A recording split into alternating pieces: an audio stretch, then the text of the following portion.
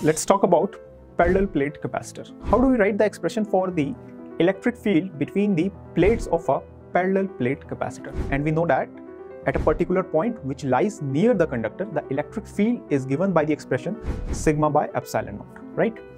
Now, to write the electric field between the plates of a parallel plate capacitor, one can consider it to be the superposition of two fields. One is due to the positive plate and the other one is due to negative plate. So sigma by epsilon naught plus sigma by epsilon naught, you add them vectorially, it will give you the result as 2 sigma by epsilon naught.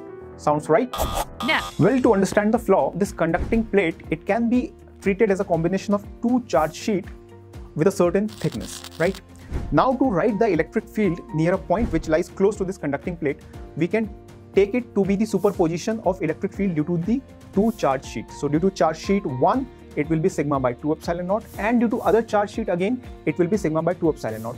So the cumulative result is sigma by epsilon naught, right?